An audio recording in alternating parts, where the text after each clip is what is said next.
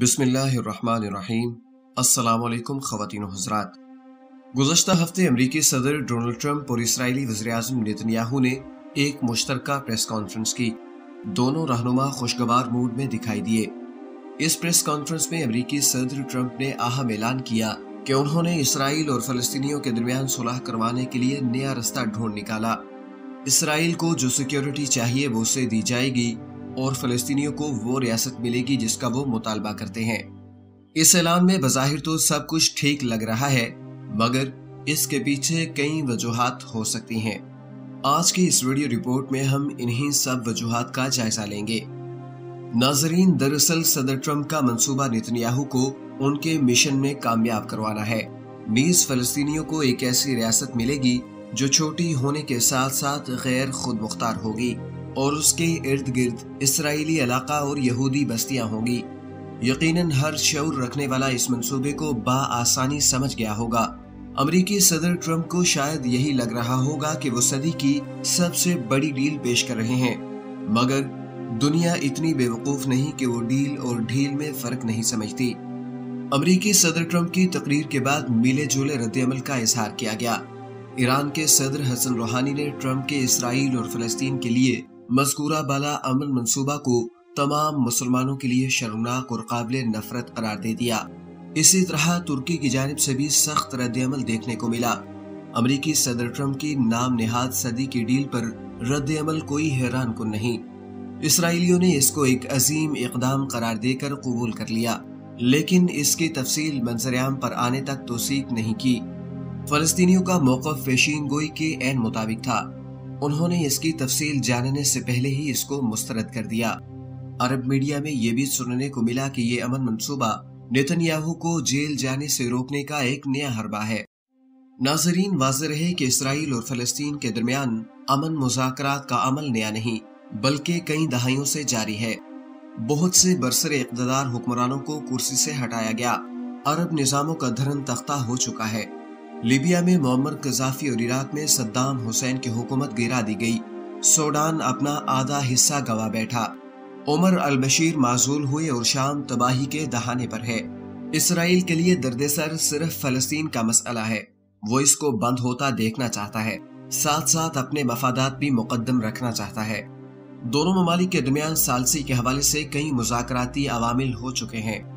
انیس سو ترانوے اور انیس سو پچانوے میں اوسلو میں طے شدہ معاہدوں سے فلسطینیوں کو بین الاقوامی شناخت حاصل کرنے میں مدد ملی اور ان کا ایک انتظامی ادارہ بھی وجود میں آیا تھا۔ اوسلو معاہدے کے نتیجے میں ڈیڑھ لاکھ سے زائد فلسطینیوں کو اپنی آبائی سرزمین پر واپسی کی راہ ہموار ہوئی تھی۔ کچھ عرب ممالک کی جانب سے اسرائیل کا سب سے اچھا اتحادی امریکہ کو بھی قرار دیا جاتا ہے۔ الزام لگایا جاتا ہے کہ ماضی میں امریکہ نے اپنے زیر اثر فلسطینی دھڑوں کے ذریعے اس بات کو یقینی بنایا کہ قیام امن کے لیے تمام کوششیں ناکامی سے دوچار ہو جائیں۔ امریکی امن مذاکرات میں اعتماد کی فضا کو نقصان پہنچانے کے لیے ان تھک کام کرتے رہے۔ مرحوم فلسطینی صدر یاسر عرفات کی قانونی حیثیت کے بارے میں سوال اٹھائے۔ یہ محض الزام ہے تاہم یہ سچ وقت ہی ثابت کرے گا۔ ناظرین، کیسے معاہدے کی عدم موجودگی سے فائدہ اٹھا کر اسرائیل ہر روز فلسطینی اراضی پر قابض ہوتا چلا گیا اور فلسطینی علاقے سوکرتے چلے گئے۔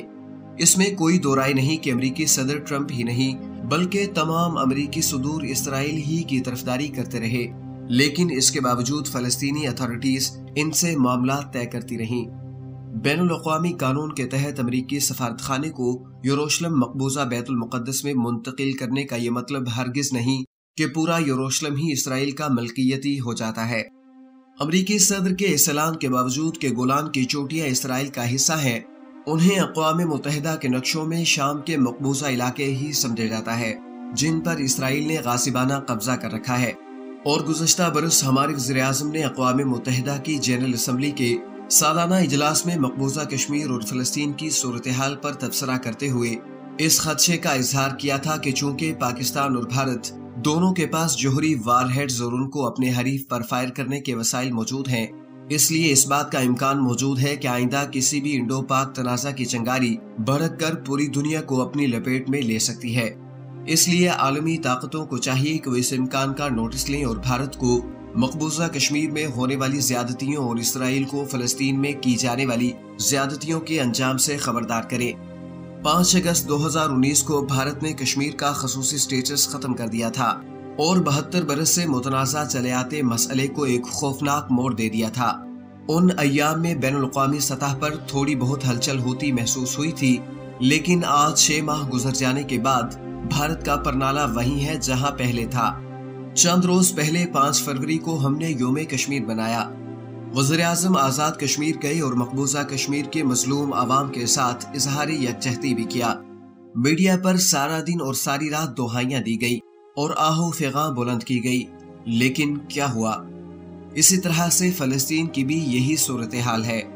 ناظرین، پہلے بات صرف مقبوضہ کشمیر کے مسلمانوں کی تھی، لیکن اب تو سارے خطے کے مسلمانوں کو شہریت ایکٹ کی تلوار کی دھار پر رکھ دیا گیا ہے۔ پاکستان اگر اس خوش فہمی میں مبتلا ہے کہ مودی اور اس کی ہندو جنتا اپنی ہندو توا سے باز آ جائے گی تو ہماری سادہ لوہی، بلکہ حماقت کی حدود کی وسعتوں پر ماتم کرنا پڑے گا۔ کیا پاکستان کئی برسوں سے پانچ فروری کو یوم کشمیر نہیں منا رہا؟ اور کیا جو کچھ ہم نے دو دن پہلے پانچ فروری کو بحثیت قوم کوئی تیر مارا ہے، یہ پہلے نہیں مارا جاتا رہا۔ سارے ملک میں عام تعطیل جگہ جگہ جلسے، ریلیاں، تقریریں اور پھر اگلے ہی روز وہی شب و روز کے معمولات۔ کیا اس سے مقبوضہ کشمیر اور فلسطین کی مسلمان آبادی کو کوئی ریلیف ملا؟ اگر نہیں تو پاکستان کو مسئلہ کشمیر پر اپنی اسٹریٹجی پر از سرنو غور کرنا ہوگا۔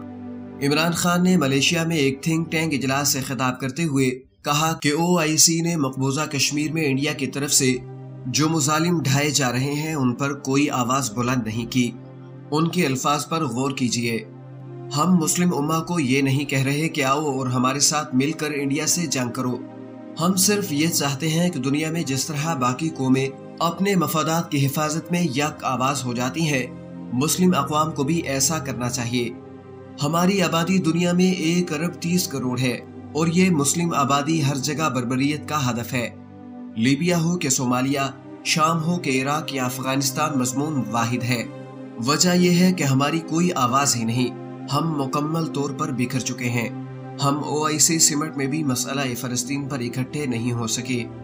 ناظرین، لیکن یہ دہائیاں اور واویلے تو ہر پاکستانی وزیر اعظم وقفے وقفے سے بین الاقوامی فورموں پر دیتا آیا ہے۔ عمران خان نے کوئی نئی فریاد نہیں کی۔ نئی فریاد البتہ وہ تھی جس کا سطور بالا میں ہم نے ذکر کیا ہے۔ کہ اس بار پاکستانی وزیر اعظم نے عالمگیر جوہری جنگ کی طرف واضح اشارہ کیا تھا۔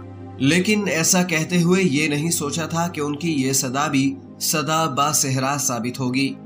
دنیا تو صرف اس کی آواز سنتی ہے جس کی لاٹھی مضبوط ہو۔ پاکستان بیچارے کو تو ہمیشہ اپنی بقا کے لالے پڑے رہتے ہیں۔ اس کو آج کل اپنی داخلی صورتحال کی مشکلات سے فرصت نہیں ملتی۔ کیا دنیا نے جوہری بربادی کی جلک چھ اور نو اگست انیس سو پینتالیس کو نہیں دیکھی تھی۔ کیا ان دو جاپانی شہروں میں دو لاکھ انسان چند لمحوں کے اندر لقمہ اجل نہیں بن گئے تھے؟